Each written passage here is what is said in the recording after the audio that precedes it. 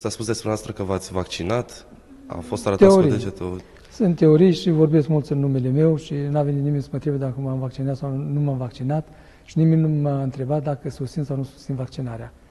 Uh, Este o problemă de conștiință a fiecăruia, dacă se vaccinează sau dacă nu se vaccinează, nu poți să impui omului să se vaccineze sau nu să se vaccineze, este o libertate a fiecăruia uh, dacă trebuie să se vaccineze, întrucât și acest uh, sau aceste vaccinuri sunt vaccinuri experimentale, care, dacă cine se uite pe prospectul lor, va vedea că însuși producătorul nu-și asumă urmările Consecințele. și consecințele.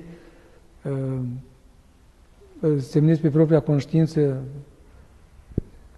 ce urmările care ți le asumi dacă te vaccinezi și este o responsabilitate sau o, o libertate a fiecăruia dacă se vaccinează. De ce să se fi folosit părinte de numele dumneavoastră? Auziți, te folosești așa ca reclamă. Asta este problema lor.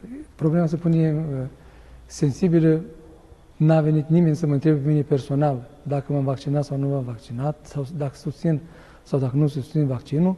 Și mai mult decât atât, vorbesc în numele meu ca să-mi folosească numele. Pentru că consider că prezint o credibilitate și atunci să folosesc de acest nume.